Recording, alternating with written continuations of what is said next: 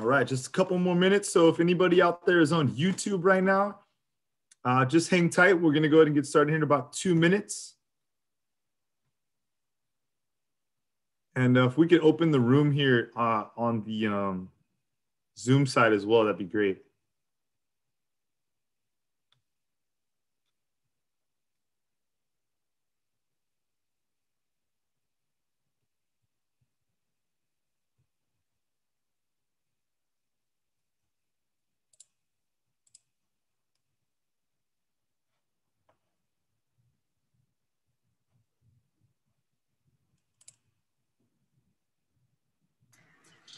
You're good, Hector.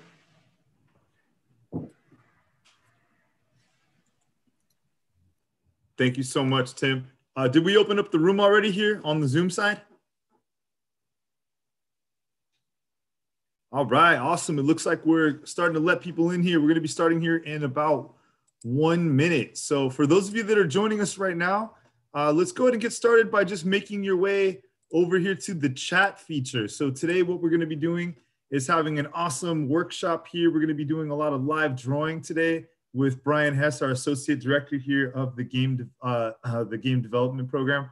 Uh, so what I want to do really quickly is uh, just have everybody make your way over to the chat button and adjust your chat to all panelists and attendees. So I'm going to go ahead and write hello in there.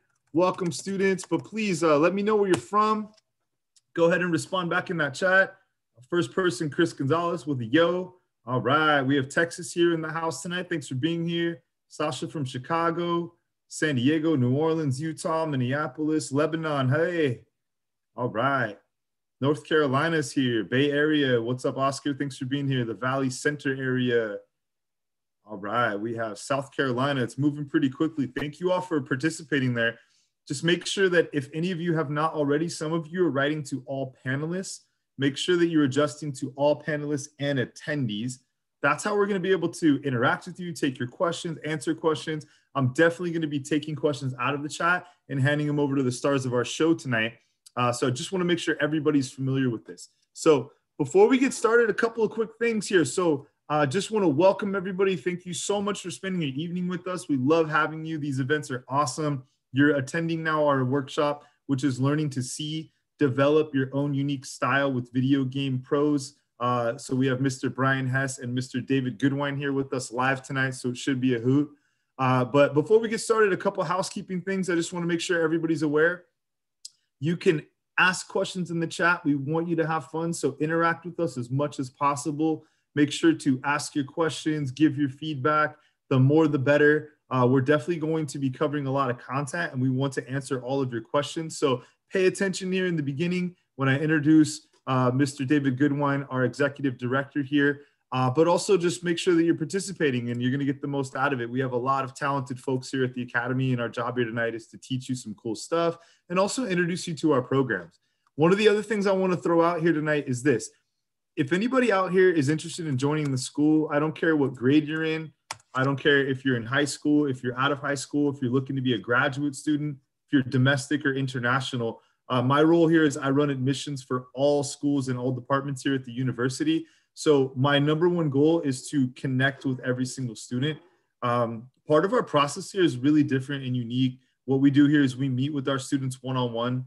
We try to get to know them, ask questions about what their career goals are, where they see themselves in the future. So if you're enjoying what you're seeing and you have any interest in the university, any questions, anything we can do, our number one objective would be to have a one-on-one conversation with you in order to go over what the steps would be for you to proceed forward. So I'm just going to go ahead and throw my email out there. Please do not be shy. Send me an email no matter what the question is. I want to connect with you after the event and set up some time to talk. So we're going to go ahead and get started here. Uh, and what I'm going to do is I'm just going to start off with introduction. So I'm going to introduce uh, a wonderful guy. I've had the pleasure of knowing him for about six years now had the pleasure of traveling with them to New York City, all the way from California, coast to coast. Uh, so, David Goodwine is our executive director here at the School of Game Development. So, a little bit about David. He's an animation and visual effects graduate here at Academy of Art University. He's been in the entertainment industry for 18 plus years, including 14 years in the game industry.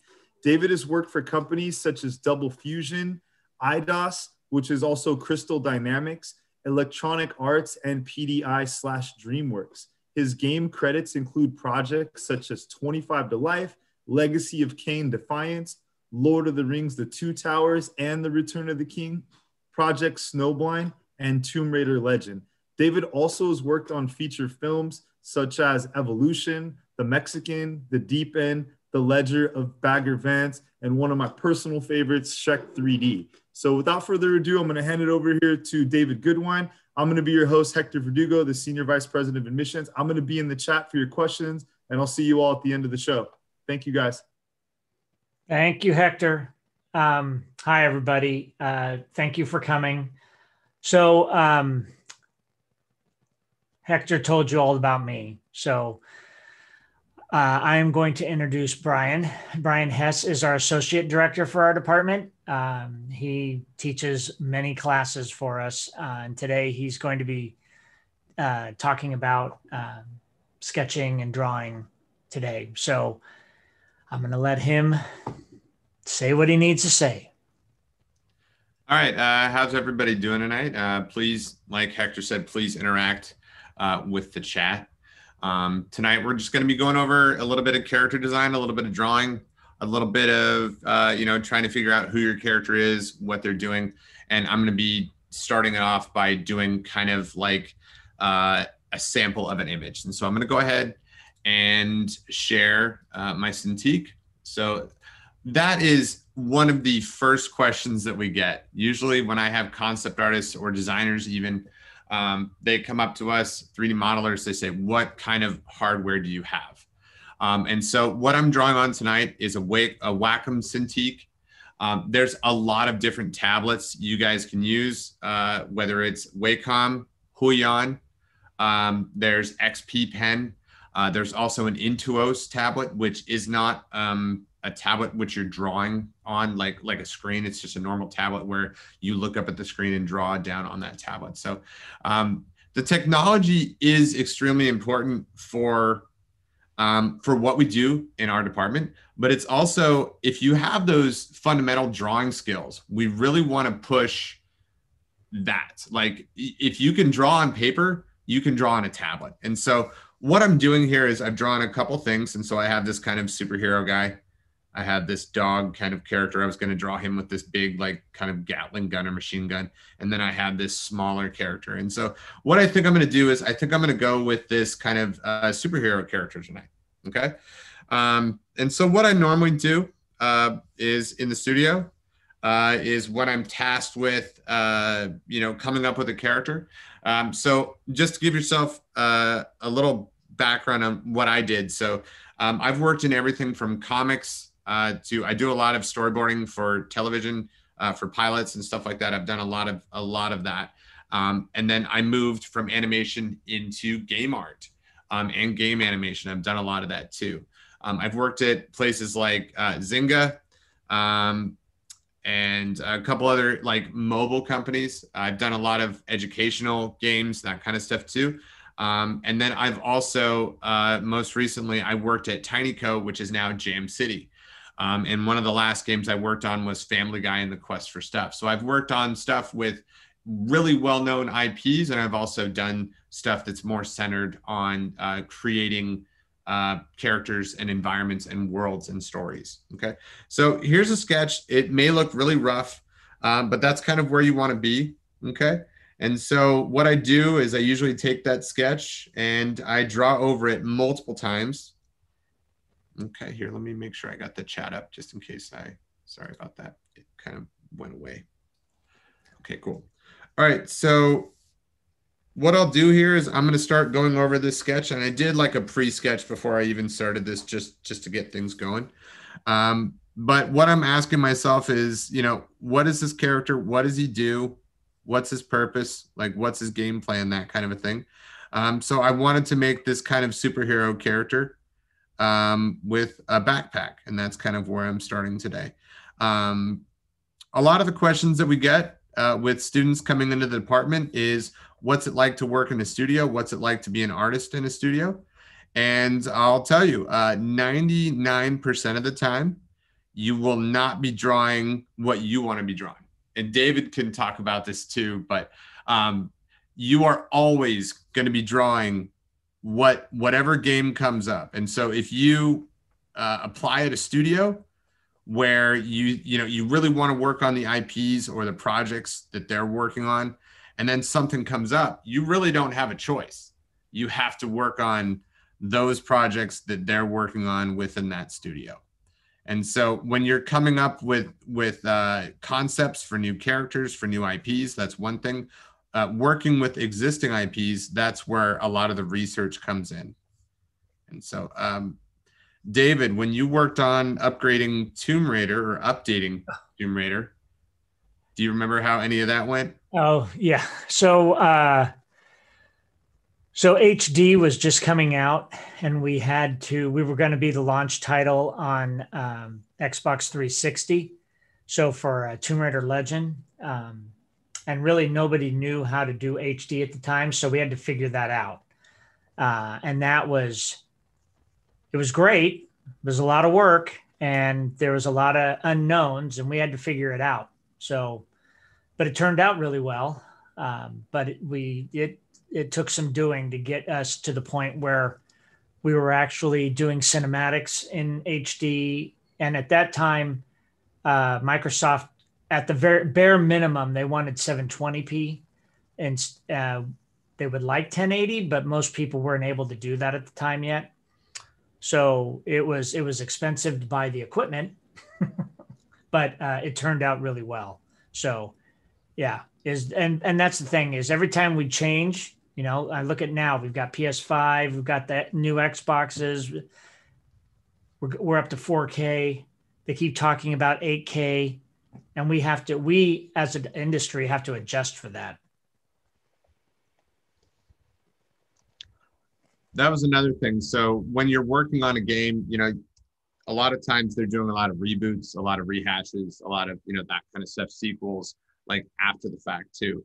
And so um, I can, you know, like I worked on reskinning like an entire Angry Birds game that never ended up coming out.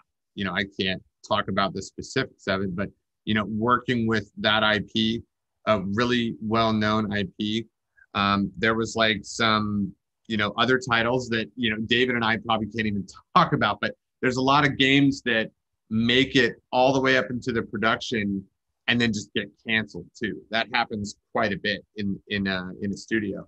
And sometimes you know you get to you get a chance to work on something really neat, and then it, and then it just gets taken away from you. But it's really cool and it's really good experience to get. And so um, that's kind of like you know just a glimpse of what it's like to work in a studio and work on like a different uh, or or like a new project or a new IP that kind of a thing. Um, what we like to do in the department is you know try to get you guys ready for what it's going to be like to work in a studio and so all of our faculty either work in a studio or worked previously in studios and so we like to you know help give you as much advice as we can not only in techniques but also just getting you uh, mentally ready to go out there and get a job okay so here. So I kind of have this idea where I'm going to have the superhero kind of flying up. Hey, get ready. Brian. Yeah. So, uh, question was, um, do you start with gesture or do you have reference? So with this one, I don't have any reference. Uh, I know that's that's probably not what you want to hear, uh, but yeah, no. Usually, you do so much research you create mood boards, which are basically collecting image reference um, to give people an idea of the look and feel for what you're going for. Um, the illustration that I'm doing tonight um, is something where, you know, it's something where I'm showing you how to build a drawing very quickly. Um, but if I was doing this in a studio, there would be a lot more like kind of research that would go into it. All right, so now that I have this blocked out with the gesture, like you said, um, I'm gonna go ahead and start doing like uh, final inks on it, okay? And so I'm gonna go ahead and ink this character. And if you guys have any questions, uh, just let me know and we can we can talk about whatever you guys want to talk about tonight. if you guys have any questions about the school or the department or the programs, just let us know and we can go over any of that. Well, a question that came in was uh, uh, what is a pro and con? Um, or what are some of the pros and the cons that you should be aware of before getting into this industry? Um, I think the biggest misconception is uh, it's kind of like those, uh, you know, you have those kind of glasses on, or those, you know, you're seeing it through um, rose-colored glasses. Yeah, where everything is perfect, and you get to like, like kind of how I started with, you get to work on whatever you want. Um, you know, a lot of students come into the department wanting to uh, start their own studio, and and those that's cool. We've actually had students that have come into the department and they've started their own studios after they left. Um, but that's really hard to do, getting capital, getting people, you know, connected with you. But, you know, we try to get people prepared to work with other people. And we have actual classes, our collaborative classes that set everybody up for that. And so what we do is we have projects within those classes and it's basically student run. Um, David and I actually run that class and we actually uh, treat it like a studio as much as we can um, within the uh, learning environment. So I don't know if you want to talk about some sure. of the projects we've done there, Dave. So, um, well, right now, so we've we've been doing this forever, uh, since pretty much since the department started. But uh, a few years back, we started working with the uh, Norman Rockwell Museum, and we built out a uh, VR experience for them that we showed at probably about five or six different museums across the United States. Um, we had a uh, we showed also at the uh, at the White House uh, the VR piece that we created for that. Um, so you know, having those opportunities, the students' work is getting in front of actual people out there in the field, not just at school. Um, right now, we're working with uh, NASA to create uh, some games for them for uh, their space station uh, project. Um, we're also working with, uh, so it was the 80th anniversary of Bruce Lee. And so we're in the process of uh, doing a project with the Chinese Historical Museum in San Francisco about Bruce. And we're creating a you know, an animated piece for Bruce, eh, basically like a hologram. Um, but all those projects like that are being done uh, through the collabs. So, and it's not only just our department that we have in there. We have music, we have animation, we have other departments that help out as well. Um, so we have those projects that are on the outside, but then we also have projects that uh, students and faculty come up with about particular games. We were always trying to do at least one 2D game uh, and 3D game uh, of our own projects as well. But like Brian said, we've had students get together. Uh, you know, after they've graduated, they've started up their own companies. Um, we have one that's just he he and his company he started it the game as a uh, master's thesis, and then he did that one. Uh, was up on, it's still up on Steam, and then the second version of it is coming out, I think, sometime in May. Uh, mm-hmm. So you know, the students out there doing that, and the students out there that are working at many many companies that are here in the Bay Area, uh, L.A., Seattle, all over the place. So, and we have a lot of students that are from other areas too, like other countries, and they're they go back and work in um, you know England and Australia and New Zealand and uh, all over. So, I think the best part of the collabs though is you know not only are you working on something that's going out into the world, or it's something that you know you or your peers have kind of come up with, but it's it's the amount of feedback that we've gotten from the industry after they you know they've learned like what there's what the students have gone through and they start working you know there's certain programs that we use in those in those collab and those collaborative projects uh, and classes that you know you use in the studio like perforce. It's a version control um, software where you know that's something that you know the larger studios use. Um, you know and and the, the studios love that you know you come in with that experience and you don't have to have this huge ramp up. And that's that's just one thing that i think that we really prepare you for is is trying to get you up to date with the technology um, and the mindset of working as a team too. Okay. So what i'm doing here is i'm going through and i'm doing flat colors. Okay. I did a loose kind of inking pass on it um, I am going to clean it up, but I'm going to go ahead and start choosing colors for this guy. Okay. You guys have any more questions, let us know.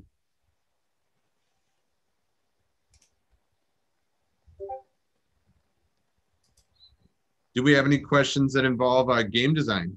Not just any art, but any game designers out there today. There was actually a question earlier, Brian. I'll, I'll, i saved to throw at you, and um, it was earlier, and it said, "Do you get any chances to reuse the assets you make for IPS uh, that get tossed?" Um, you want me to take that? Yeah, you can take that if you want. Go ahead, and I'll add. So yeah. you keep drawing. okay. So, uh, so it depends. Uh, usually, when let's say you make one game, I can prime example. Let's say we're working on Tomb Raider uh, Legend, and then we go to make another version of that game or a sequel. Uh, there's assets that we could still use over um, from what we had done the the you know previous game. So that cuts down on production time, right? Um, but the, here's the thing: if it's a game let's say we made whatever game it is, X game, um, and we shelved the whole thing.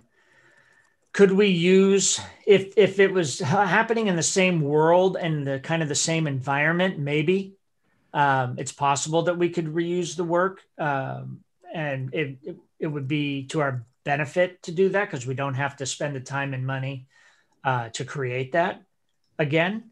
Um, but it it, really depends on if it's going to fit within that world or not.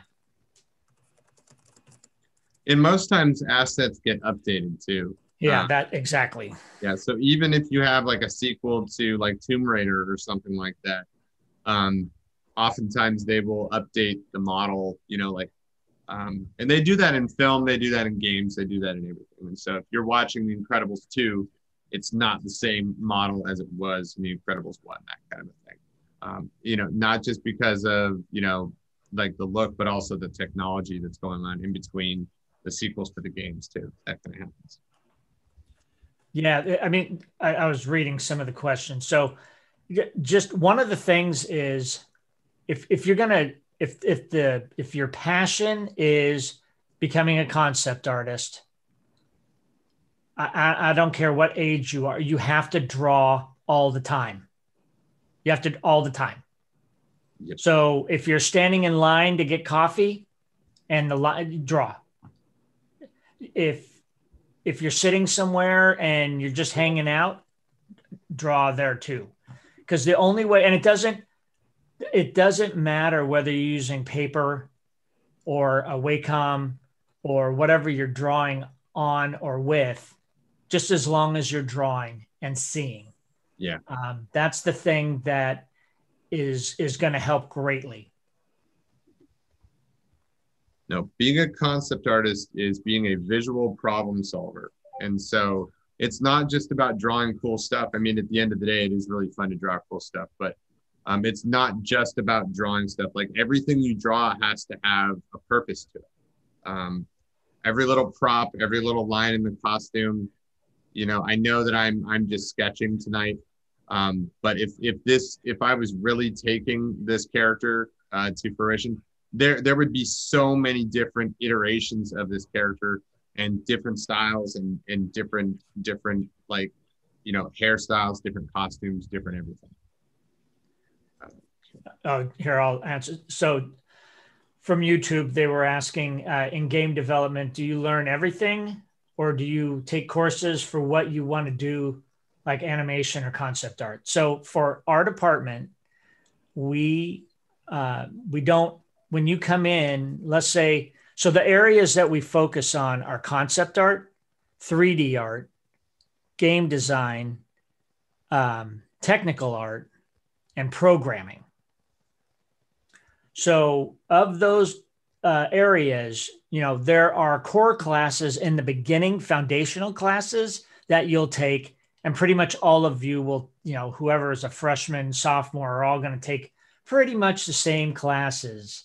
Um, but as you uh, break off into your major, you will be taking classes that are specific to the area. So if let's say you were going to be a concept artist, then um, you would take those drawing classes, those uh, painting classes, those kind of things. If you're going to be a game designer, you're going to be taking classes that are more focused in uh, level design and game theory, and you know how do I make this game fun? How do I how do I make this game? You know all the mechanics that go to it. What am I going to do in this game? Technical artists are more about rigging um, uh, visual effects, that kind of thing. We we as a department don't have a specific animation track. The animation department has that. Um, the thing is, you just have to learn how to. If you want to work on games as an animator, um, the principles of animation are the same. Just what we work in, because we're working in real time and animation is working in uh, in linear, right? So it's it's you're looking at it as I'm rendering this. It's a film. It's a passive experience. Whereas for us, it's an interactive experience. So we have to run everything through a game engine. Um, those lines are really blurring now. Uh, and a lot of uh, film companies are starting to use like the Unreal Engine to start to uh, create their uh, their their shows. Uh, Mandalorian is one of them that uses the Unreal Engine to create their uh, piece. So, um, like I said, those lines are starting to blur, but um, but from our department, the areas that I said, those those are what we focus on. Yeah, like David said, they're using Unreal. They're using, you know, what company with Maya to build out those uh, virtual environments for shows like The Mandalorian. But there's also, um, you know, a lot of television that's getting into that too, not just live action, but actually animated. And so with the the new version of Unreal and all that stuff that kind of goes into that, um, they're starting to use it for everything. So we have a lot of people um, from the animation department that are coming up and, and saying, "Hey, how do you use this engine?" So, right, um, exactly. um, like David said, you know, getting started in the animation department and then you know figuring out the basics the principles of animation that's you know david and i started out as animators that's you know kind of yep. where we came from and this is where we ended up you know what exactly. i mean so um, well, and I, that, that's the thing too. Here, let me ask this, answer this real quick. So, yes, game development is where game art falls into. Yes, exactly.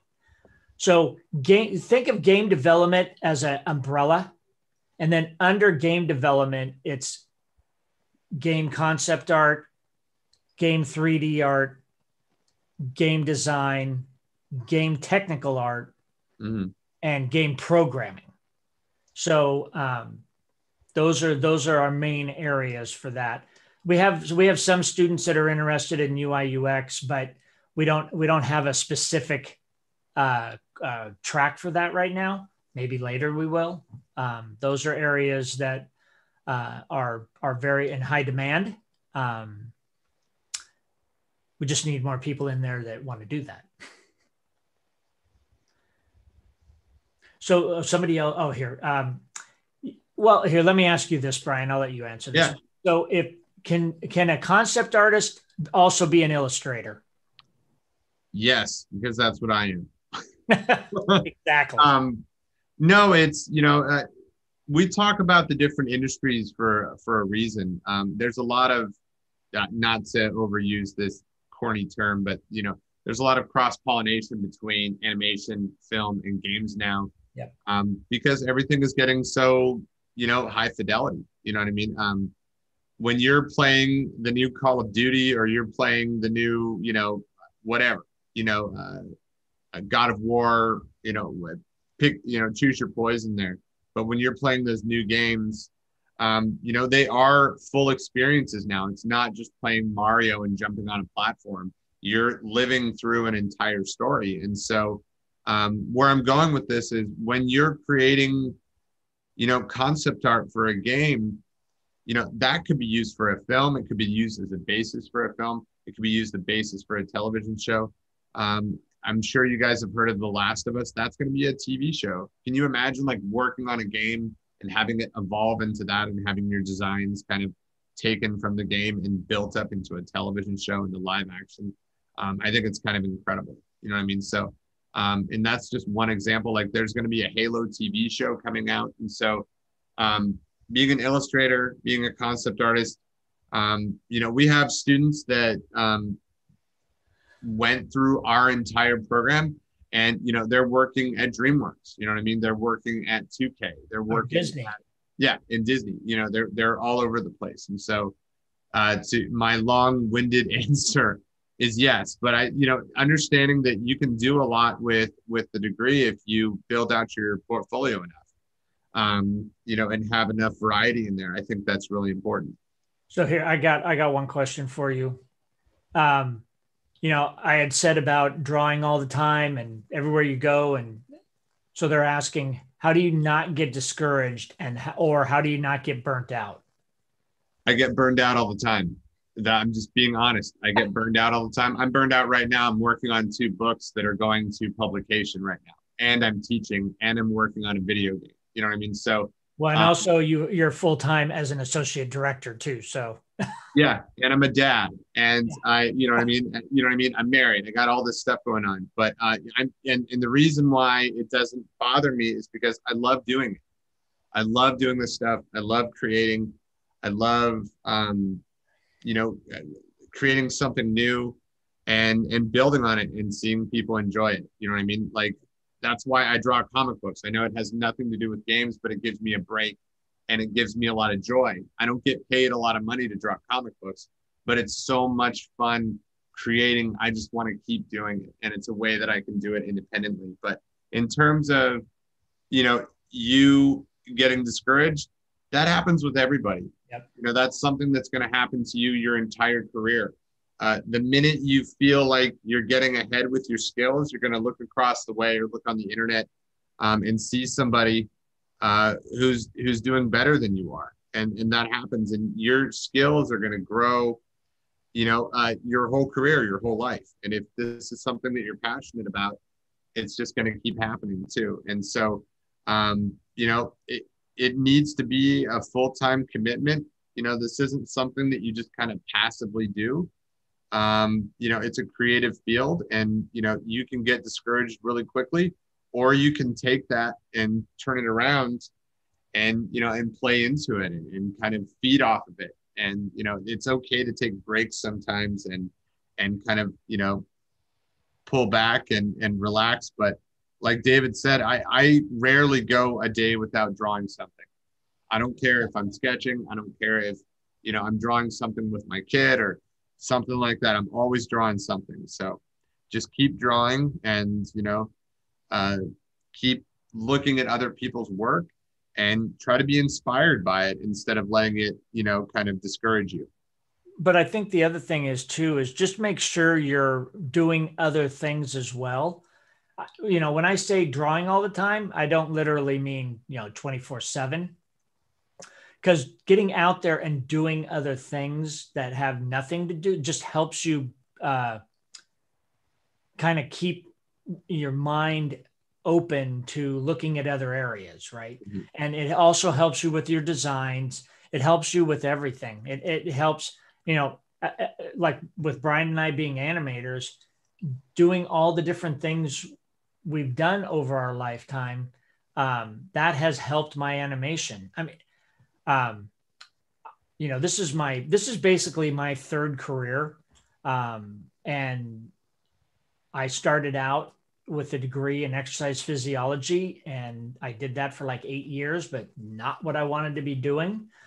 Um, and when I had the opportunity to go back to school uh, and get my second degree from the Academy of Art, um, that's where I wanted to be. I that's what I really wanted to be doing. I had always wanted to be an animator, um, but at the time it was it wasn't as uh, there weren't there weren't schools out there for it when I first got out of high school.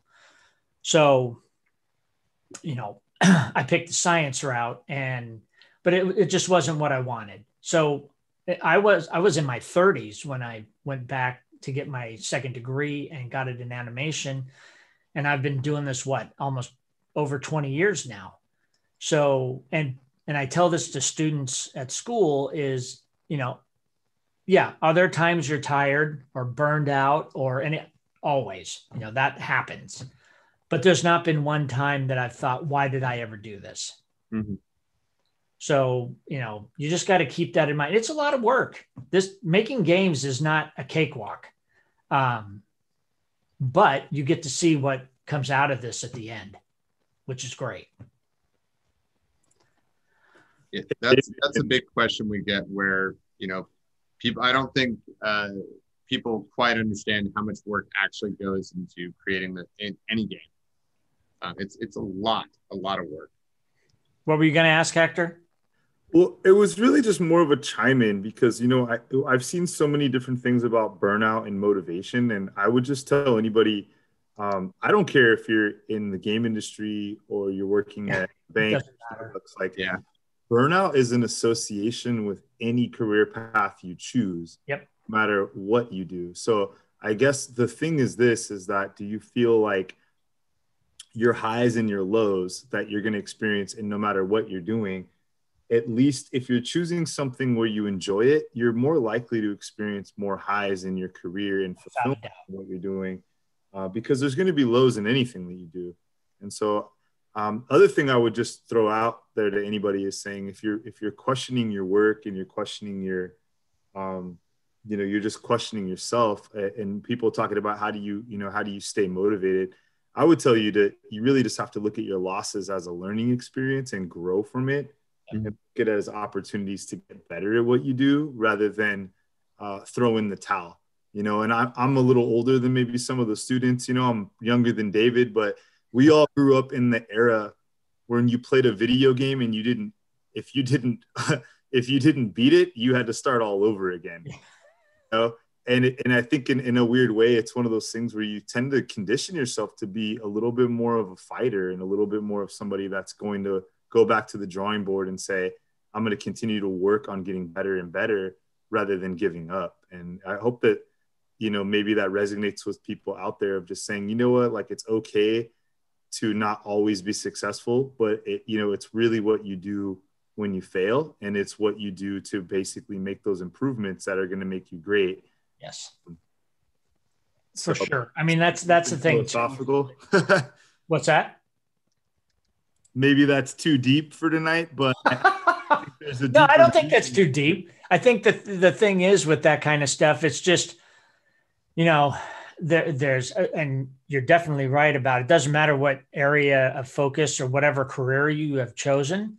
Um, there's always going to be burnout. It really depends on you know how much. But but the thing is, it's how you handle it and yeah. how you you know. Sometimes you need to walk away from things, even your art. If you're working on a design like a character or whatever it is, and it's just not working the way you want it to, sometimes you need to step away from it and go do something else um, because that's been I've done that in the past, and that has, and I've just went for a drive or run or whatever, um, just to get my head thinking about something else, and then usually I come up with another solution to to that.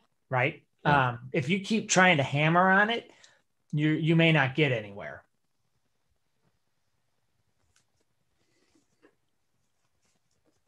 So I am actually going in and I'm creating all these spaceships that are kind of surrounding everything. I'm just having fun with this. I'm just trying to do something a little, little different than I normally do. Okay. So um, here's a question. This was earlier, but um, so style wise. Okay. Um, yeah, style is is something where um, you know, I was, you know, I'm I'm 38. You know, I'm not going to shy away from how old I am, but I'm inspired by different things than, you know, than David is, you know, or Hector, you know, that kind of thing. And it's, you know, even you know, Hector, even if he doesn't see himself as somebody who will draw, he's still like kind of leans towards something. So, you know, my style uh, is from, you know, is inspired by Disney, but it's also inspired by uh, my favorite comic book artists that I grew up with, like Jim Lee, um, who's now the head of DC Comics. He was a huge influence on the style that I have and kind of, you know, the the comics and the cartoons that I watched. I grew up with Batman, the animated series, X Men, that kind of stuff. Um, before there was an MCU, that was my MCU. You know what I mean? Watching X Men on Fox Kids, that was my Saturday morning. And so that was my inspiration. You know, if you're inspired by anime, you know, which there's so much good anime out you know, like there's actually so much you can't even watch it. Um, you can't, you, I mean, if you, if you sat down and tried to watch it all, that'd be a full time job. You know what I mean? But, um, you know, being inspired by an artist or artist or kind of that'll build kind of this amalgamation of the style that you will eventually become. And so, what I tell my students is, you know, who are you inspired by? I want you to tell me. And then I look at their art, we go through it together. And then I look at the art that they're creating. And I say, all right, what can you pull out of that style? What can you do with that style? And so usually that's where we start. And we start pulling elements from there. And, you know, without completely copying that artist, but but borrowing what's good or what you find interesting about it. And that's, you know, and trying to find your own style is one thing. Um, another thing is is sticking to a style in a studio, and that's a totally different thing. And so, um, you know, what I try to say there is try to be as diverse as you can. Expose yourself to as much as possible. Now, you can't possibly absorb everything, but if you're watching sci-fi, if you're watching adventure, if you're watching drama, if you're watching westerns, you know, fantasy, whatever. Um, if you're exposing yourself to all of those things, and they don't have to exactly be, you know, the thing that you're really into, but if all you're watching is post-apocalyptic movies like Mad Max or something like that, and you're not paying attention to something like Lord of the Rings or Blade Runner or RoboCop or Predator or Terminator or you know anything like that like john wick there's a lot of awesome art direction and color in john wick in those movies even though they're live action um, you know watch a star wars movie if you haven't watched those. Watch the older ones. Um, you know watch uh, 2001 space odyssey.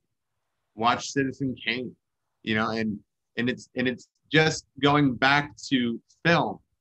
You know everything is derivative from something else. And so if you go back, you start seeing stuff in those old films, in those old games, like play old games too. You know, a lot of times when I bring up playing older games, you know, and when I say older games, I mean that were made in the 80s, the stuff that I played as a kid, stuff that I grew up with. Like people don't want to play it, but what they don't realize is like what kind of goes back to what Hector said too.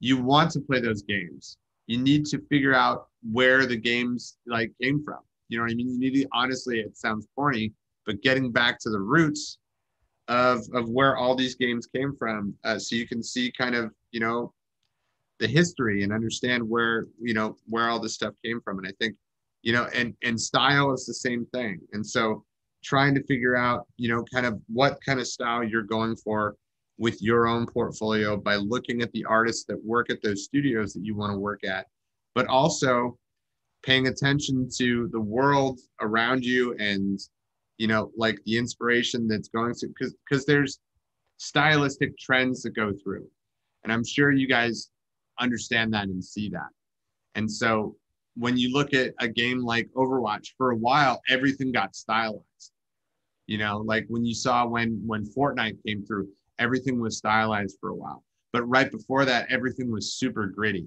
and so things go in waves and it hits the industries in waves too. You might see two movies that are very similar that come out at the same time. Okay, and that's that's kind of it. And so paying as much attention as you can to the industry and and where they're going and and what's going on in it and looking at what's coming out too paying attention to not just the studios that you're into, but maybe other studios around you? The other thing is too with that, um, you know, a lot of people start out with anime as a, a way to start out drawing in that, but it can't be the only thing you draw. Mm-hmm. Um, you need, you really need to look at having more than that in your wheelhouse. Um, it, it, if you're drawing those and it's helping you draw in the, in the beginning, that's great.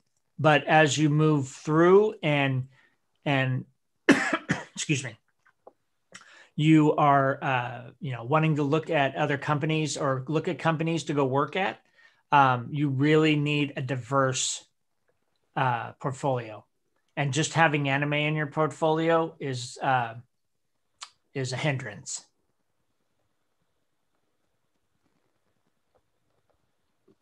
May I ask a couple questions to you all?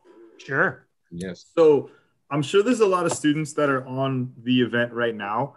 And uh, if you're in the chat right now and you want to just throw me a amen, go ahead. But there's a lot of students out there that are probably questioning, like, should I do this? Uh, am I going to be good enough? Uh, am I choosing the right career path? uh, is this just like a joke? Like, should I, you know, just draw for fun and then go get a job doing something else? Um, so my question to you all is like, David, you you were in a totally different field. Um, yep. and like, what made you guys take the plunge? Like, what made you guys say, "All right, I'm going in, I'm doing well, this," and, I'm, and, it's not a farce, it's not a pipe dream, it's not.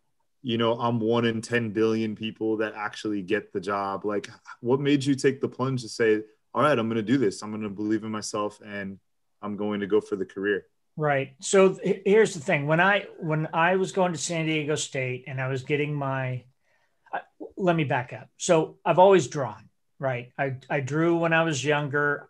Problem was I never kept anything. I would just draw it, give it away, do it for other things. I just never really kept a hold of anything that I drew, right? Um I, I watched tons of cartoons, Warner Brothers, uh, you name it. I but I also watched a lot of movies, whether they were animations or not. Um, I was just always into that. Um, and when I got uh, here's here's the other thing. When I was going through school and I was going through high school and I, I was thinking about you know I would love to be an animator. Um, and I don't know if anybody out there has this issue, but you know you have friends and family say, how are you going to, how are you to make a career at that? What are you going to do with that? How are you going to make any money?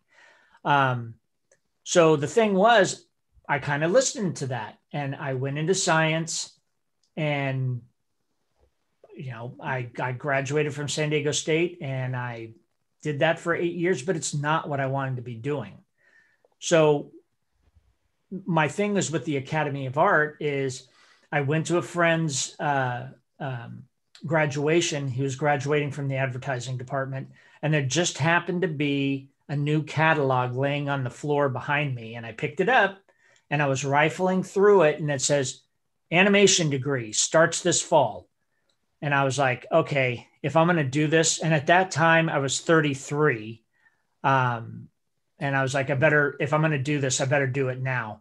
So I stopped what I was doing. I, I, I was still working, um, but I went back to school full time and uh, was it, oh my God, it was a ton of work. Um, but it was well worth it. Um, and there were times that I definitely thought, what am I doing? Um, but uh, and still i all through the time i was going through school they were you know people were still questioning me on like how come you're not taking over your dad's business? Why are you not, you know, that kind of stuff. But when I got, when I was getting close to being done, I got an internship at Wild Brain, which was a small 2D animation house in, in San Francisco. And um, it just started from that and went from there. And I just kept moving. And it's been, like I said earlier, you know, there's a lot of work. Uh, but at, at no point did I ever think that I shouldn't be doing this. And I'm glad I did because I wouldn't have been happy doing something else. Is that enough, Hector? yeah, to, I mean, it's you know, it's just one of those things that I think it's the first step that is the roughest. Well, and that's the thing. I mean, I think that's the you you either you take the step or you don't. Um, and and I and for the longest time, I just wouldn't take the step. But finally, it was just like if if you know I'm in my early 30s, I got if I'm going to do this, I better do it now. I mean, I'll be 59 this year, and I've I've been doing this a long time, and I've worked on great projects, and it's been and I've been here at the Academy Academy of Art for uh, it'll be 12 years in June, and helped start the department, um, and it's been it's been great, and I have great people working for me. mm-hmm. You know, uh, and I, will try to echo this, you know, because I, I, understand what you two are both talking about because I, I, do these workshops like every week, right? Um, yeah. But students, one thing I'm, I cannot stress this to you enough is, you know, like what you're seeing Brian do live. There's there is sweat equity in this. there is so much sweat equity in being able to. But here's the thing, though, and I and I got to point this out like being really good at something it's not going to happen overnight and this is why we're, we're stressing like it will be a journey and a path and a development process and yes if someone said brian makes it look very easy very easy i promise you it's not but maybe for brian it honestly is but because brian has probably spent a million nights drinking red bull and mountain dew on art all the time um, but i can promise you this some of you that are asking about software we could give Brian right now some markers and crayons, and he right, could do the same thing. Some amazing artwork for concept art, but it's the skill behind it. Everything else is just a tool. Um, Correct. One of the other things I just wanted to to echo to people though is, is it really is the the hard work that gets you there. Now, David, somebody uh, mentioned this, and I thought you'd be a really good person to talk about this. What's that? They said, you know, I've heard that art is something that you just have to be born with. No, kind of what I've been taught. And you know, and that's okay because sure you, you hear that all the time. But if you mind maybe speaking to yeah. what does this program do? How do we teach people that maybe you weren't born with it? So so here's the thing. We we have students that come into the program uh, and and some have been drawing forever. Others that's something they've wanted to do, or or there have been modelers, or whatever their focus is, right? Um, but the way that we have the uh, department structured is you know for the first couple of years you're working on your foundations. You need a strong foundation to get into doing the higher level uh, art assets uh, designing games that kind of thing. You need to understand how that stuff works before you just jump in and start making whatever you're making right? So like with character design like um, Brian's doing right now, uh, you know, you, you need to know the fundamentals of anatomy. You need to know how your line quality. You need to know all kinds of different things, which which we teach. Um, and that's pretty much, you know, through it's all about repetition and and uh, creating in the beginning, you know, we, we have one class that is a cubes class that's taught in probably let's see one two three it's like in the fourth semester but it's all about painting stuff. You're painting cubes um, and it's like painting glass and painting wood and painting all these different kinds of things. And whether you're a concept artist or a 3d artist as a 3d artist you're going to have to paint textures right? But you need to know how to do those things before you can actually implement them so um, we we make sure that from the beginning you're learning your foundations, and then we we build from there. Yeah, I would say, um, you, you know, it's it is a lot of work. I've been drawing since I was three, like you know, um, and and that's and I honestly I took a break uh, right after high school where I didn't draw for a while I had some other jobs where it had nothing to do with drawing. And, um, you know, I needed a little time away from it to realize how much I actually really loved drawing. And I think that little break um, you know, it's kind of like what David said. I'm just kind of echoing the same thing, but um, it's true. When you realize like kind of what where your passion lies, you need to go back to it because I wasn't going to be happy doing what I was doing for the rest of my life. You know, waking up every day and dreading it um, instead of going and working, you know, at a studio, um, you know, working on my own stuff, you know, on the side. And that's really what kind of drives me is uh, waking up and knowing that I'm going to do something creative almost every single day.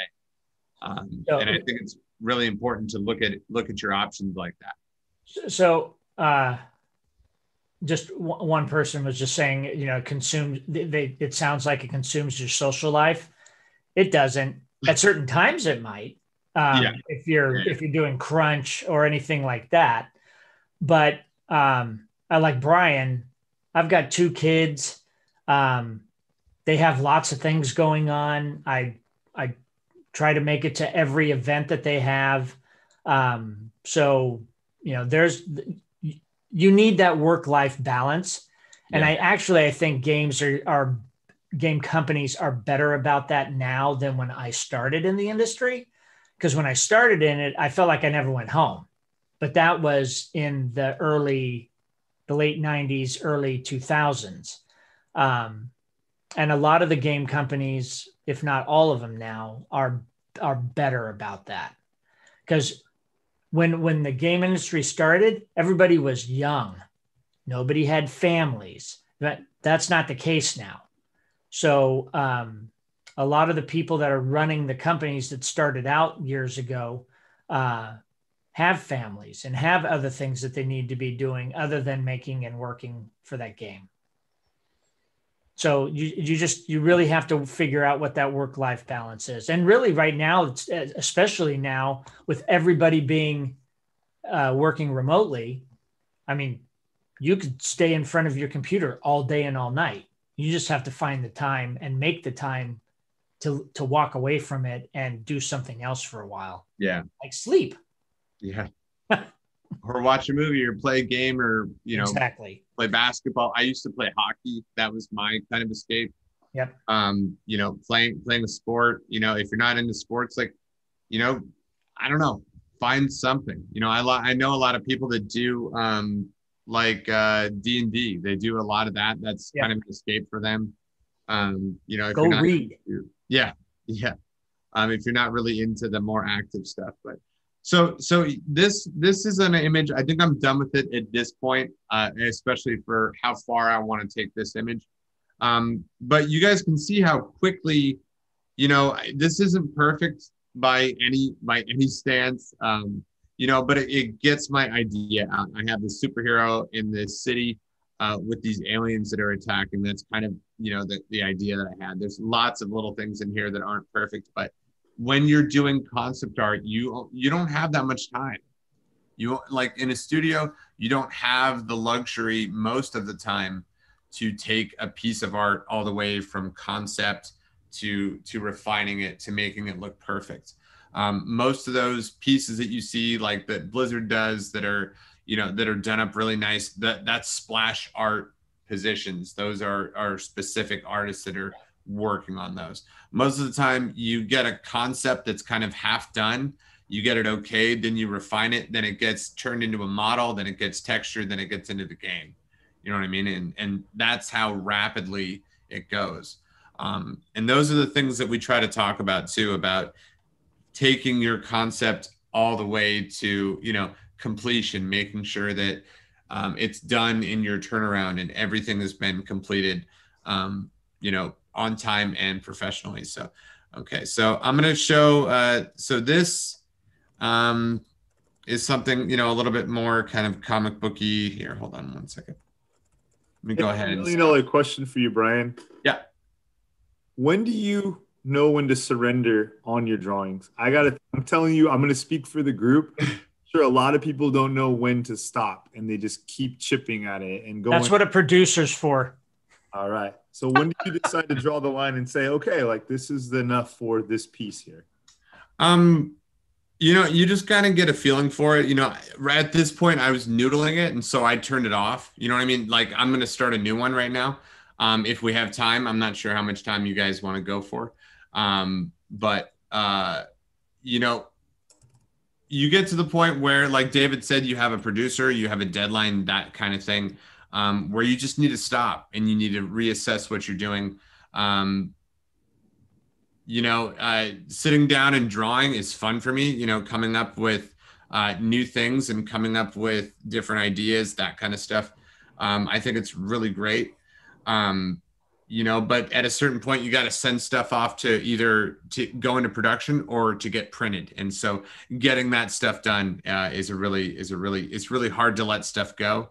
Um, one thing I'll say is, um, you know, it's I get really kind of obsessed with whatever piece of artwork I'm working on, and it's sometimes it is hard to let it go. It's hard to stop working on it.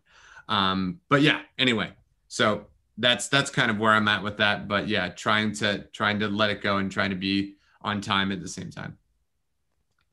Okay.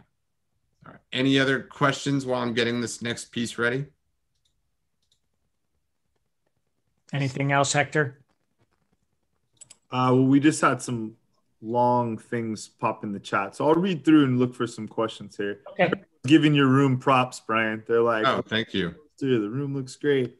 That's what uh, quarantine will do to you, or pandemic quarantine you.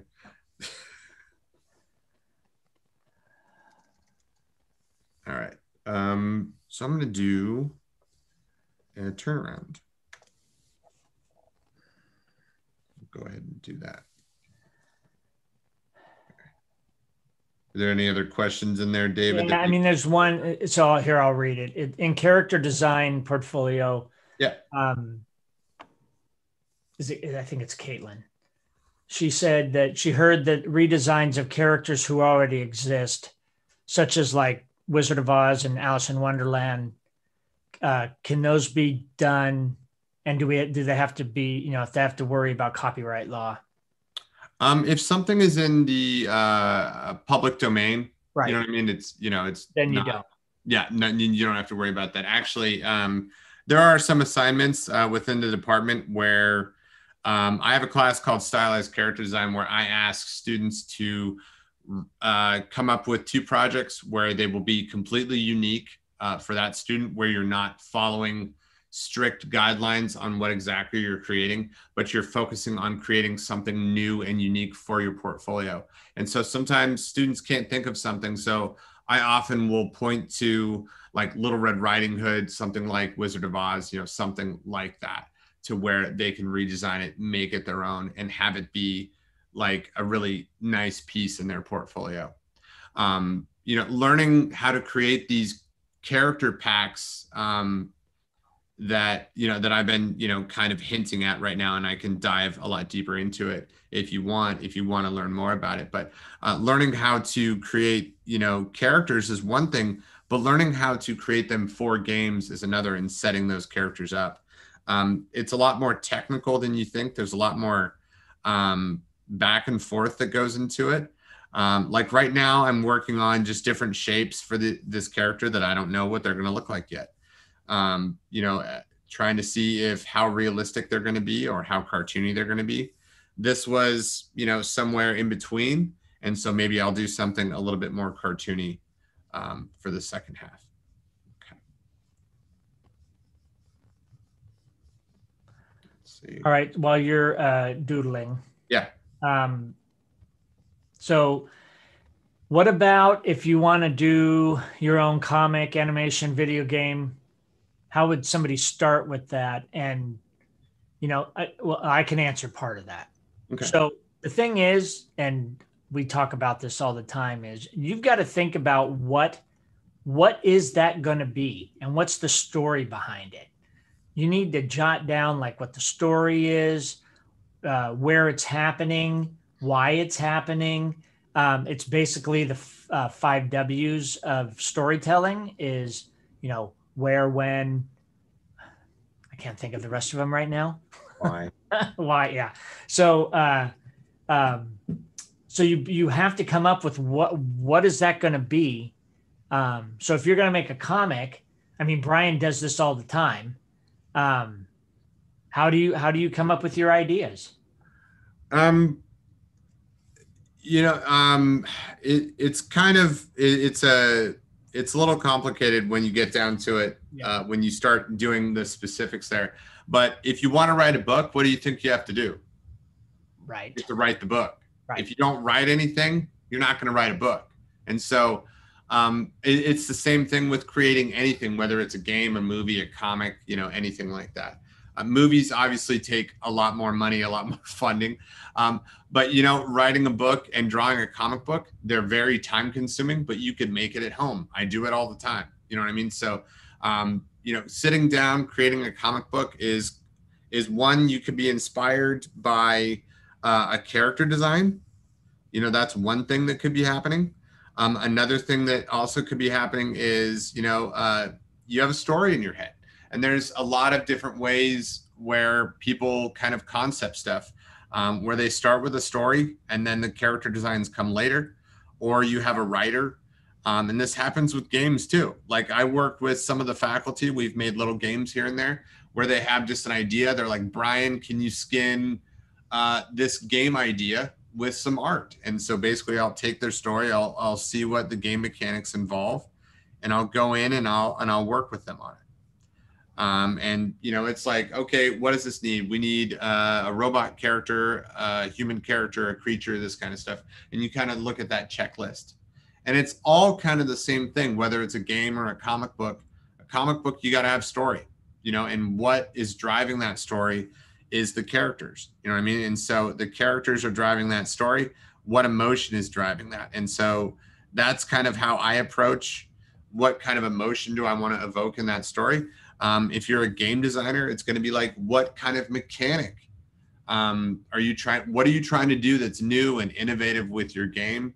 Are you combining two separate games at the same time? Are you having fun with you know, uh, Tetris and Donkey Kong Country or something like that. You know, how can you mash those two together? Or how can you mash, um, you know, God of War with um, Ratchet and Clank? You know, I don't know. I don't know. That might not be a good example, but you know what I mean? Like, what can you take from Ratchet and Clank that's not in a God of War game and make something new, you know, with it?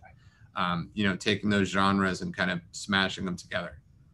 Um, So th- this last uh, this this one's right up your alley. Okay. So uh, Caitlin uh, is interested in both storyboarding and character design. Okay. Well, So- um, yeah, Oh, go ahead. No, she was just saying, should she pick one or the other? Um, no, I think that um, storyboarding is all about gesture drawings. You need to really be able to get in there. You need to understand film. You need to understand staging. You need to understand um, your shots and and all of the jargon that goes in uh, to with filmmaking. So not only do you need to understand drawing, you need to understand film. Okay, regardless if you're working in in physical film or you're working in games. So they do a lot of storyboarding in games. Yep. You know, you're storyboarding a sequence of events that are going on instead of, you know, filming that, you're acting it out through the computer, you know, I mean, that kind of a thing. Um, in terms of character design, you know, I know a lot of artists that that do storyboarding and character design. It just kind of depends on what you're into and what you want to focus on. Uh, but I think those two uh, can go hand in hand or you know you can be a storyboard you know artist and just focus completely on that um, you know concept artists um, you know we have students that graduate right from the school and they end up being character artists but a character artist is a really like heavily sought after position that is typically given to a more senior person and so you build up to that it's not that it's you know completely unattainable but you have to build up to that uh, for the most part. Well, and the thing is with uh, most, you know, most teams, there are only like maybe one or two character artists on a game, Mm-hmm. whereas uh, the environment and prop artists. I mean, when when we were working on Lord of the Rings to uh, Return of the King, there's about over 200 people on that group. Um, we had I don't know, probably 40 different environment artists and we had two character designers. Mm-hmm. So, you know, as as you're moving through, you especially as a concept artist, it's it it behooves you to know both because you may not start out as a character designer. Um, but if you can do the environment, which we teach all that, um, you know, learning to do both is is what you need to really focus on. Um, the same thing holds true for 3D artists. Um, there may not be as many uh, 3D character positions on a team as there are for environment because you know you have an environment you have to build out these massive worlds and there's a ton of stuff that needs to get built for props and environment. Um, they may have a lot of characters but they may not they won't they won't ever have as many uh, character people as they do environment and prop especially with a game like like call of duty where it's basically all environments and props. correct. Uh, i have a couple questions that came in earlier. I'm just going to throw them out to you all. Uh, okay. someone had asked about splash art a couple times. So it said um, he had put uh, so wait is splash art a part of concept art or is that a different career path? Um it's it's kind of what i just said kind of mixed with the um with the character artist thing so it's you know you can you can go and focus on that we don't have any class that specifically talks about it although we cover everything that would be involved in making it we cover the lighting we cover the painting we cover the illustration we talk about composition. Um, and I think it's really important to, um, when you're building a portfolio, you know, you're not building a portfolio with 50, 60, 100 pieces in it. Right. You're building a portfolio with five to 10, you know, and some people in the industry would probably argue even less. But I, I would say it's quality over quantity. Definitely. And so, you know, if you're if you're looking to be a splash art artist, you know, you got to look at at the market of jobs and see what applications are out there. I don't think they're really hiring for that all the time. That's something that you would probably look out for. You know what I mean? Um, I know that Blizzard, just I keep referencing that just because they use it. They have a lot of games that involve a lot of splash art and that kind of stuff.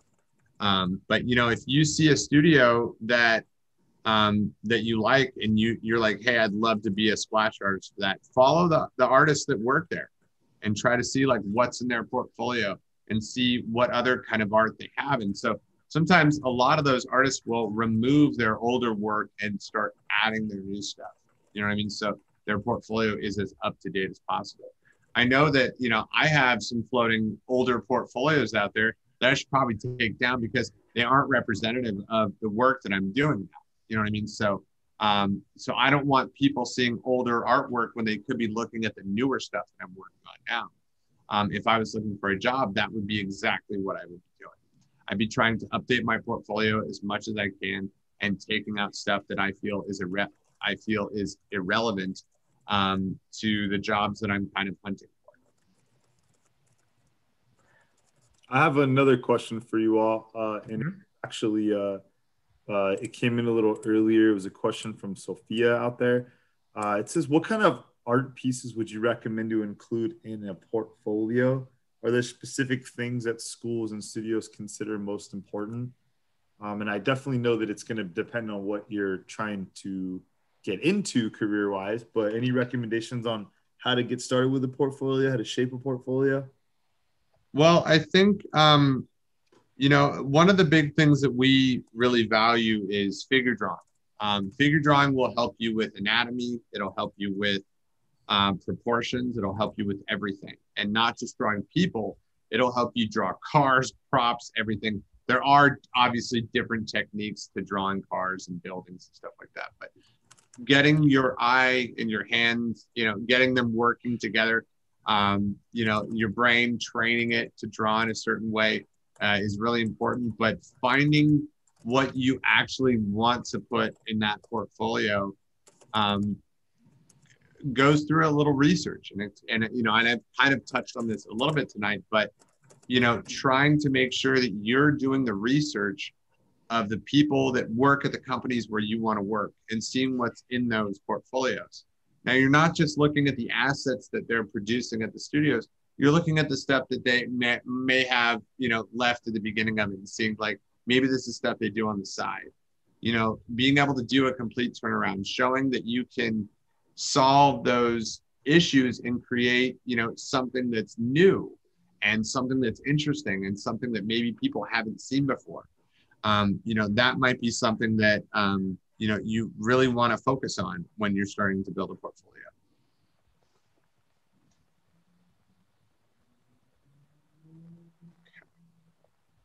Here, I'll I'll answer because uh, I saw this a couple of times. So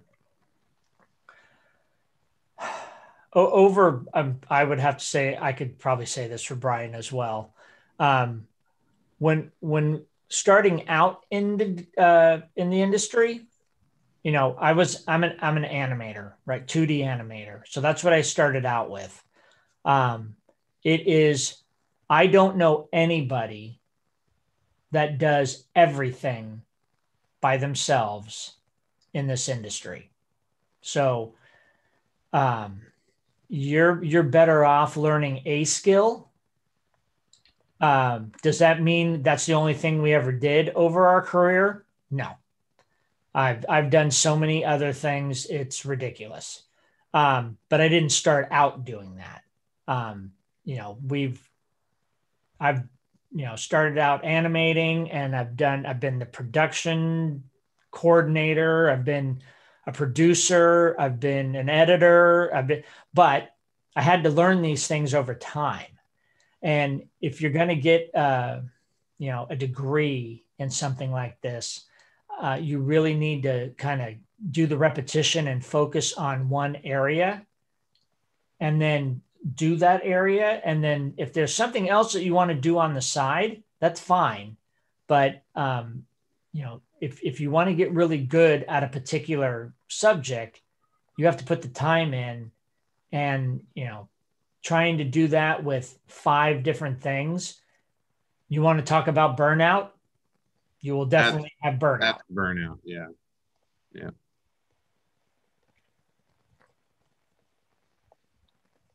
All right. So I'm just drawing a weird creature now. Might as well have some fun. Draw something a little weird.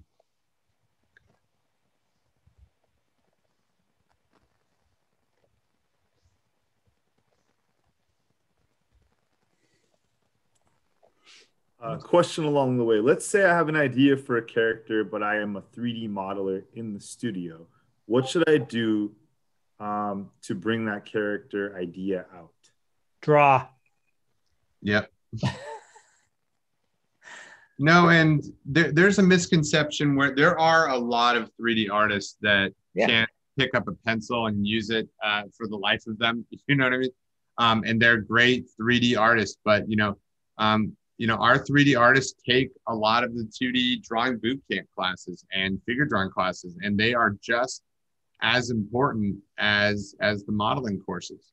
You need to learn how to do that. You know, it's David just talked about, you know, trying not to do everything, but being a 2D artist is just as important as the 3D, regardless of, you know, in our concept artists take 3D classes too.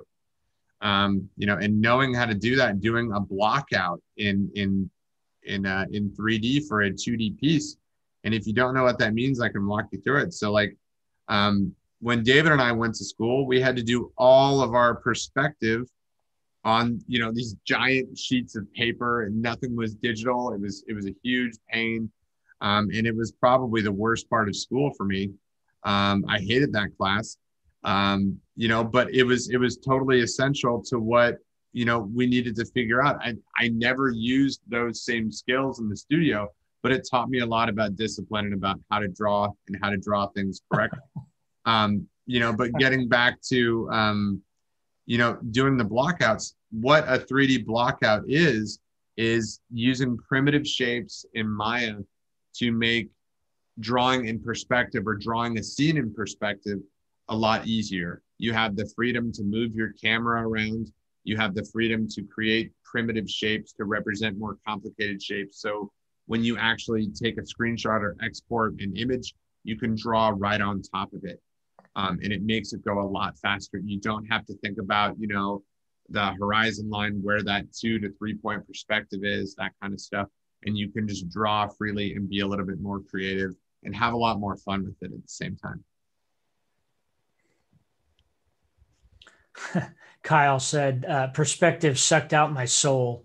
Yes. No, It it, can it does. that. Yep. It'll do that, but it is it is essential. So Yeah. and I understand both ends of it. Yes. Sucked ours out too. Yeah. I lost a, a little bit a little bit of me was lost that that semester.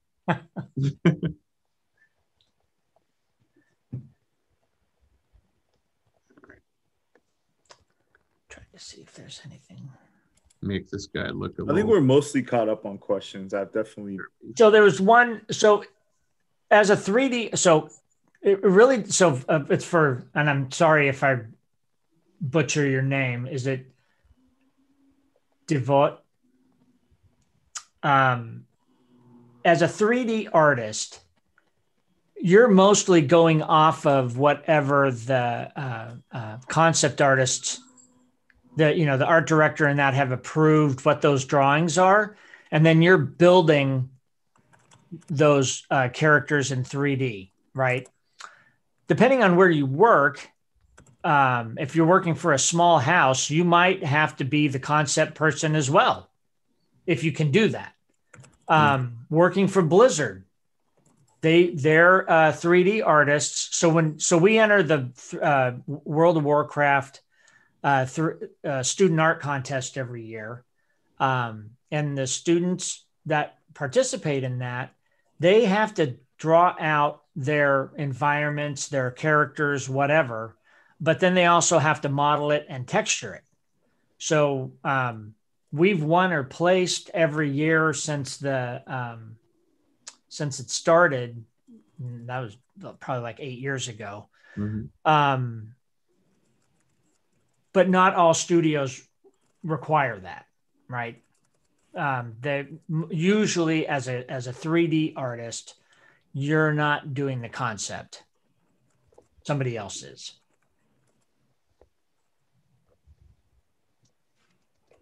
Hey, David, do you want to reiterate uh, one more time? Just, I think it'll help for people to hear it multiple times. Uh, you know, for for people that are starting from the very beginning, you know, Uh-huh.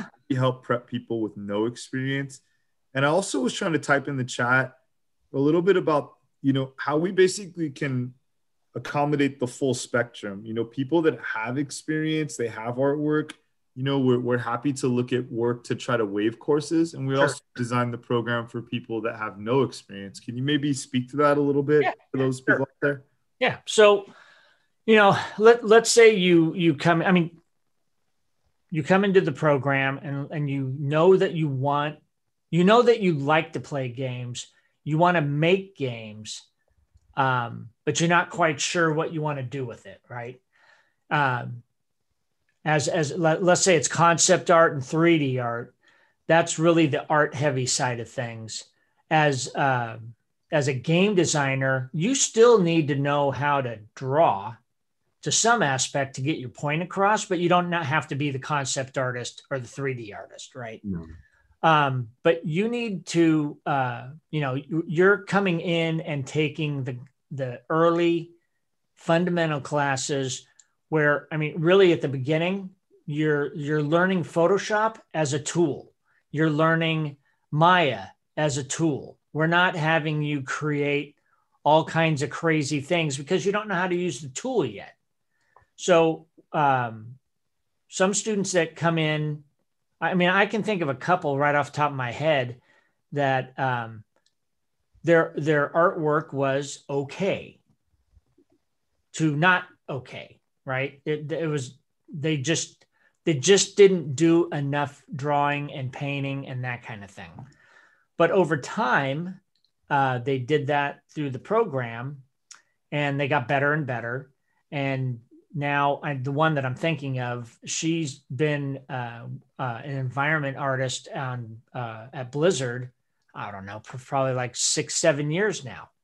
Um, so you know, the thing that we drive home is, you know, you may not know anything. I mean, you may not know how to draw yet, but but the thing that you have to do is if that's something you really want to do or you want to learn how to model or whatever whatever your focus is or game design or even programming for that matter it's the time you spend doing it.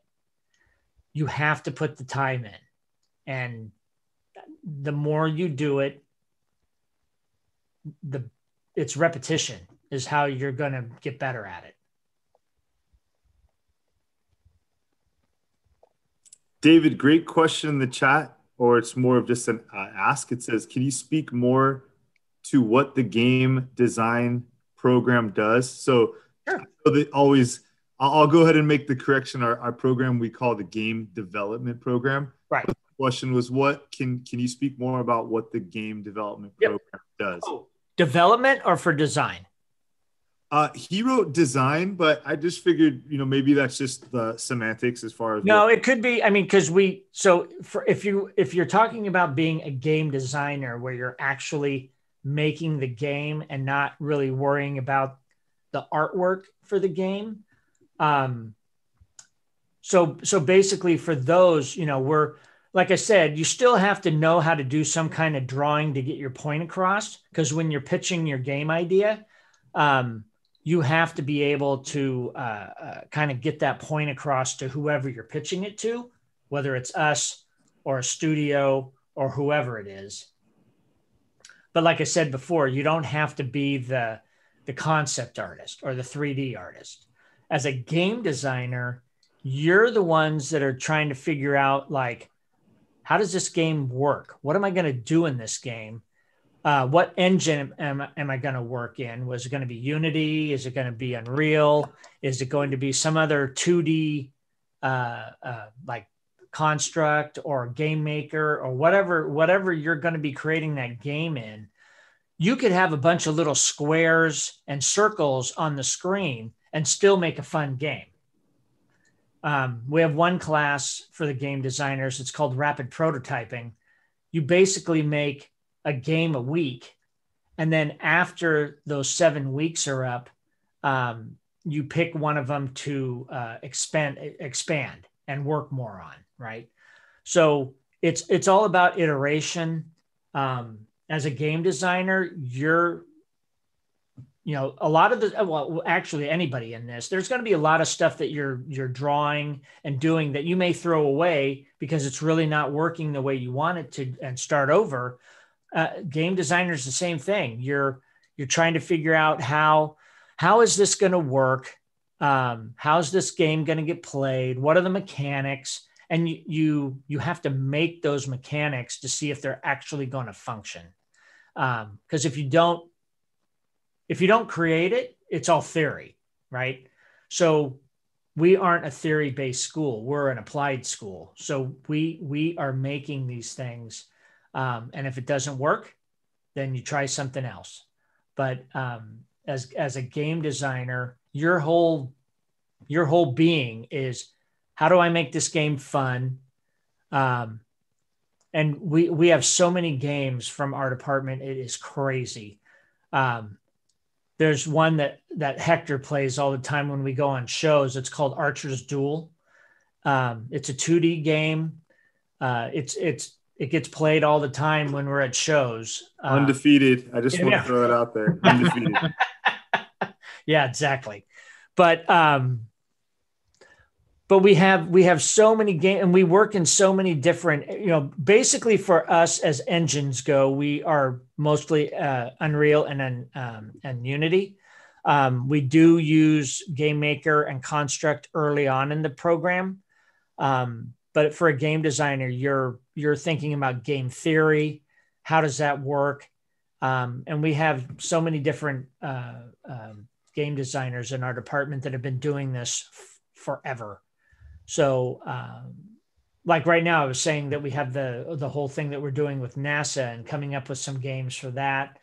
Um, and you know, we have master's students that are coming up with their thesis to do systems design and level design, and so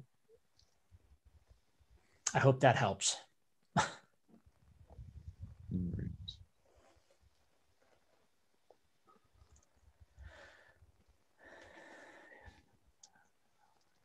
Are there any other questions? For some reason, I can't see the questions, but I'm just trying to live vicariously through you.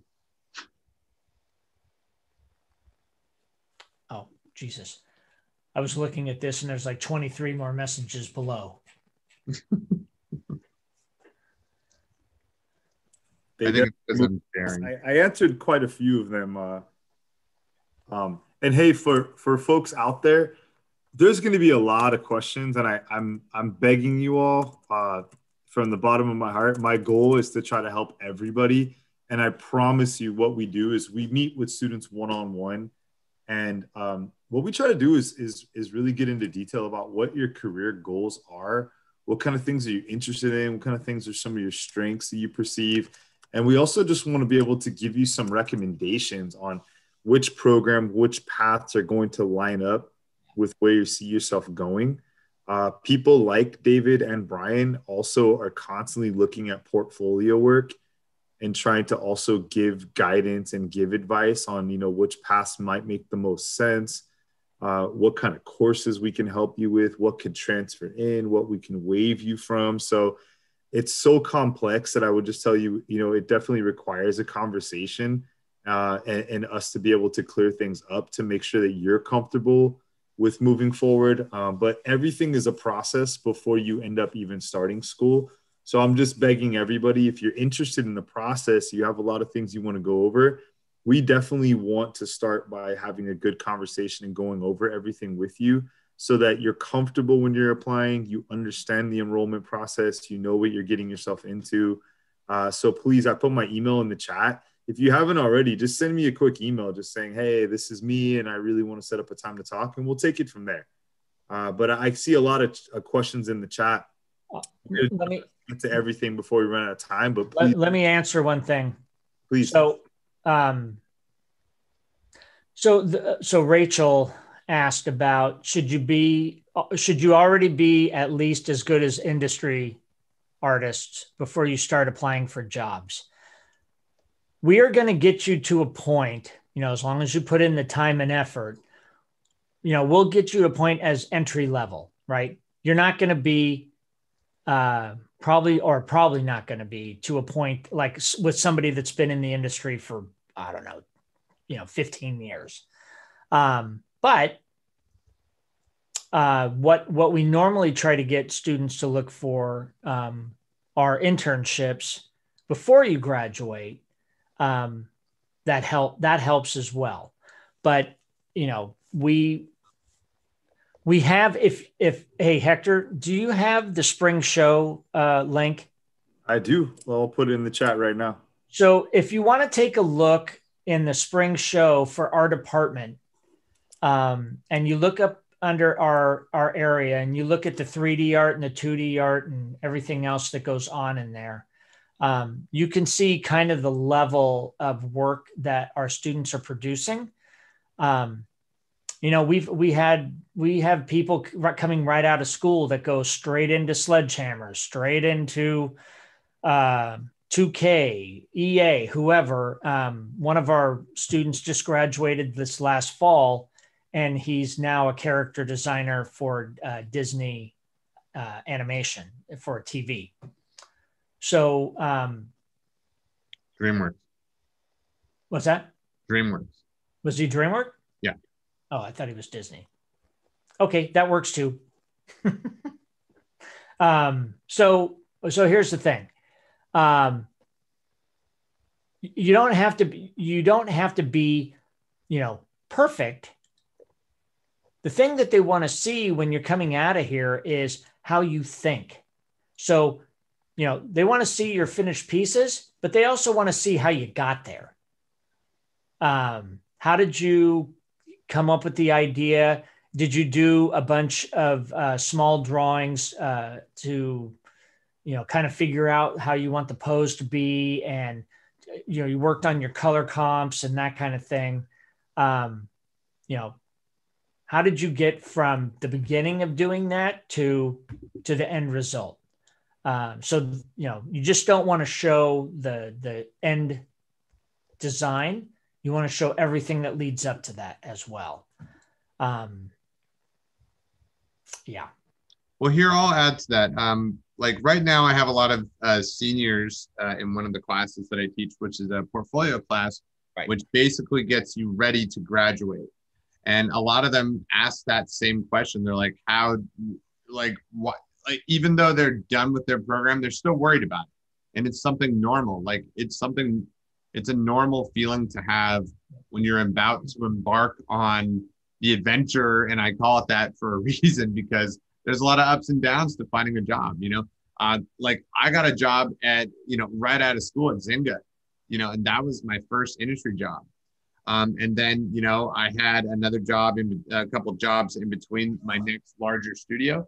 Um, you know, but then I was unemployed for a few months and things go in cycles too, you know, and, and even though I had that experience, it still took that time to do it. And so, um, you know, staying on top of it, being in the right place at the right time, emailing the right person at the right time, um, you know, is, is all about it. And a lot of the, like nervousness of of graduating and thinking that you're not good enough. Well you're looking at work of people that have been like david said have been in the industry for 10 to 15 years. Of course you're not going to be there. They don't expect you to be there. But you know just reiterating it one last time i think tonight i think would be probably the best thing is learning how to think like a person who's already doing that job. And that's the biggest thing that we try to instill in you yes, it's the skills. Yes, it's that. But being a good person and understanding, um, you know, how a concept artist, how a designer works, how a 3D model, uh, how a 3D modeler uh, operates within a pipeline. There's a lot of different things that are involved in getting a job other than applying and being nervous about it, you know? Um, you know, and so it's, it's all a process. It's all part of, you know, uh, becoming uh, that person who is going to be getting that job and and and trying to find your place in that studio once you get there. And it's it's a lot of work. And if and if you're up for it you know we're here to help you. And the other thing is is we always try to if if we see that you're putting in that effort you're going the extra mile. And you know we know a lot of people in the industry too. Oftentimes we will reach out to those people in uh, in those studios and say hey we have this really good um, artist or designer. It'd be perfect for this junior position or this entry level position. Um, and we do that a lot. We try to help um, if we see that. And we want to stick our neck out there and help out those students that put in that extra work um, and really kind of drive. Uh, you're, you're almost driving yourself into the studio by doing that too. Exactly. All right. So apparently this guy right here has found this monster in in the forest. That's kind of this little story I have here. All right. Anything else, Hector? No, I think we're pretty caught up. Um, you know, I've had a couple things come in. Uh, you know, I, I just keep encouraging people to send an email to reach out. We can set up a time to talk. Uh, out there, um, Caitlin out there said, I've seen many portfolios that include reference images next to their illustrations, but others don't. And those people still landed a job. Is it necessary to credit image sources for your portfolio? If you are a 3D artist and you're pulling reference for creating a specific model, um, my suggestion is to reach out to that concept artist yep. and ask permission to use their concepts for your 3D design. Right. Um, you know, that may be what you're seeing.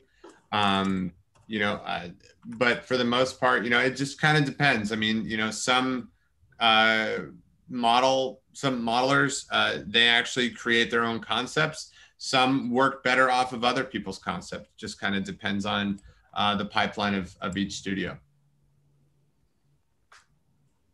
But the best thing to do is to give credit to that artist that did always give credit. Always give credit.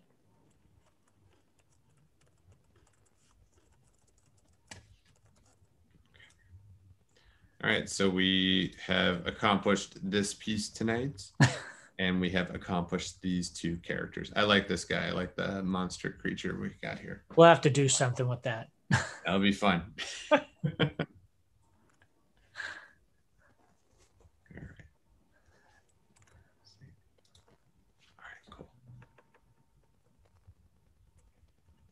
Oh, yeah. oh, It's, it's just when it comes to if you're going to use someone else's work to build off of, just I'm just repeating it because somebody asked me to. Yeah, yeah. Um, you you need whoever artwork you're using, and if it's not your own, doesn't matter what it's for, you need to give credit. Mm. That's that's just because you don't you don't want anybody to misconstrue you as being the one that created it. So if you're using somebody else's concept art uh, to create a 3D model, you give credit. Or you're uh, doing some kind of fan art and you're putting it out there as your own, but you didn't come up with the original design, but and you're kind of going off of it, um, you still need to give credit. Mhm. Yeah. Um, let's see here. So uh, thank you, Kellen. That's very nice of you. And Oscar, you know, um, and if you if you have any other questions, stick around or you know, email Hector, email us. You know, uh, get in touch with us. Ask us more questions. We are here. That's that's why we're here. We want to make sure that you know if you guys have any questions that go beyond today, if you if you come up with something tomorrow, anything like that, please please reach out and let us know. Um, we can talk to you about any aspect of the program that that comes up even after this. Exactly.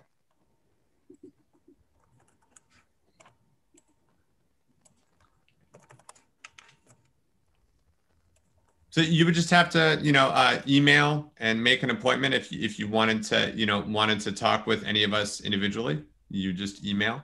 You could probably just best thing to do is to email Hector and he can get you in contact with us.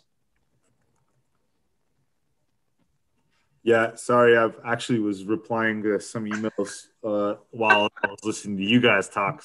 I try to do my best to hit people back like quick so they they know Sure. hey, right here. So uh, there's another one. All right, Sing, cool. Thanks for sending the email. And uh, you know what? If you just want to help me with my self esteem and just email me and say hi, I mean, it would also help too. Exactly. um, but hey, I know as we're wrapping it up, I, I do want to just go out there and say thank you so much to the whole team. Um, you know, we have a, a behind the scenes team that don't necessarily always get the most credit, but uh, definitely shout out to the online education team for helping us put these things on. Uh, our shining star Maroof over there hanging out tonight with us. Uh, John Beeson, one of the best looking employees we have in the academy. He's behind the scenes over there on YouTube helping us out. Uh, and then obviously the stars of our show, Mr. David Goodwine uh, and Brian Hess, the super talented. So thank you guys so much for all your time. Sure. Of course. Uh, any last questions from the students, or if anybody in the chat just wants to give some props to Brian for? Uh, and I know some people were out there saying, "Hey, like, I'm worried about my artwork." Um, you know, so you got to understand how cool it is for someone like Brian to be willing to draw live in front of people all over the world. Uh, that's definitely got to take some serious courage and guts to be able to to do that. So a lot of, a lot of shout outs to Brian tonight for for taking the time. Thank you. Of thank you, Brian's, and super helpful. Big fan of your comic books, Brian. Thank you so much for doing this. Um, your movie poster got a lot of love earlier. I told you that earlier. That was No, and you know, what, I'll say this one last thing is there, there's a reason this room is full of stuff. I need to stay inspired, and you know, um, you know, I mean, we have been. I've been locked in here basically the last year, working every day, um, and it's kept me going. You know what I mean? And so, uh, surround yourself with the things that inspire you, and it'll be easier to create every day. awesome. Exactly. Uh, Jaden said this was his first time attending an event like this. Really enjoyed it. Thanks for being here, Jaden. That's awesome. Maytal, I, I feel like I answered a lot of questions from these. I remember everybody's name at this point. So cool. Well, if there's no more questions, uh, folks, what we'll do is uh, we'll let everybody off the hook so they can get get uh, back to you know whatever they're doing or uh, get some food or whatever it's going to take. So um, I'll go ahead and stay back here in the room for any last minute questions. I'll keep throwing my email out there uh, and just looking for you to send in an email just saying, hey, I want to set up a time to talk. So I'll throw my email here in the chat. But once again, thank you all so much to the whole team.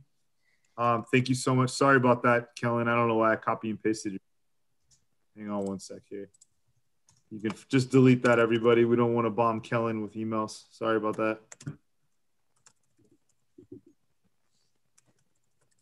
Thanks, everybody.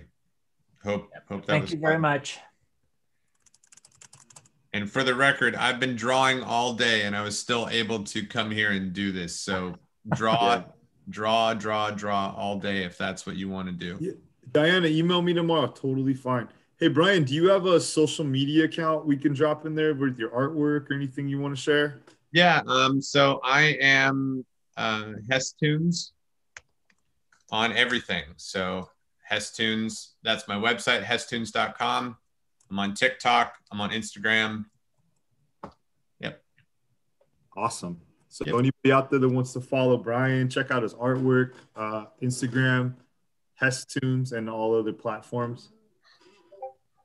Yeah, my phone's blowing up now. You guys are all going to my site. Thank you. How cool. Yeah, I never give out mine because it's just pictures of my kid. Everyone will be so disappointed. I'll be like, "Right." Now, oh, somebody from Bolivia. That's crazy. yeah, actually, she emailed me. We were talking uh, uh, to set up some time to catch up. So super cool. Fontana, California, Springville, Utah. Cool. All over. yeah. That's great. Yeah. Well, hey, gentlemen, thank you for your time. Why don't we call it a night? I'll keep the room open for a few more minutes myself and uh, answer any last minute questions. But once again, thank you so much for your time, you guys. As Thank always, you. there. Thanks, guys. we'll see you soon. Have a good night. Good night. Bye, guys. Bye. All right. So I'll hang back just for a couple more minutes. Anybody need an email, a link to anything, a last minute question, let me know before we close out the room. I'll just hang back for a few more minutes. Thanks, Juliana. Appreciate it. Thanks, Jesus. Go ahead, Sarah. Let me know whatever you need, okay? And feel free to email me too if it's more personal or something like that, okay? So.